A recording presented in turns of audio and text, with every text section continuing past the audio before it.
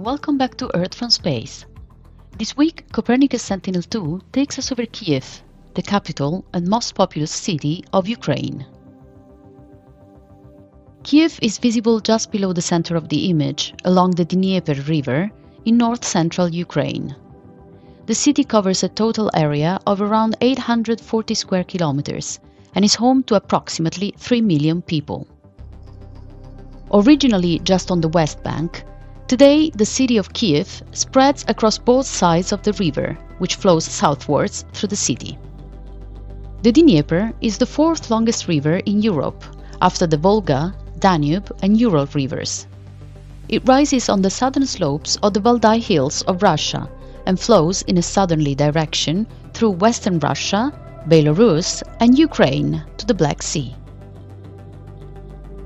Directly above the city of Kiev is the Kiev Reservoir, a large water reservoir which is 110 kilometers in length and 12 kilometers in width.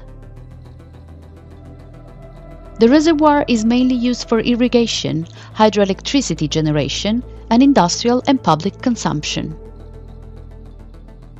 The neon green colors in the Kiev reservoir indicate a high quantity of algae.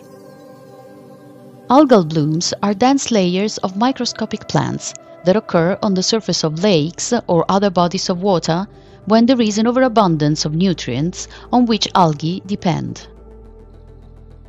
These high levels of nutrients are often caused by human pollution, such as wastewater or fertilizer runoff from agriculture.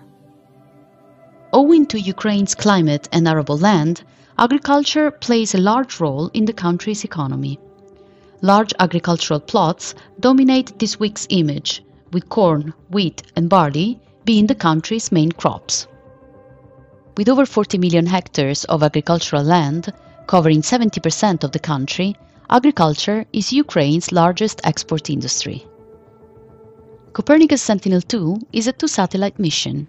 Each satellite carries a high-resolution camera that images Earth's surface in 13 spectral bands. The mission is mostly used to track changes in the way land is being used and to monitor the health of our vegetation.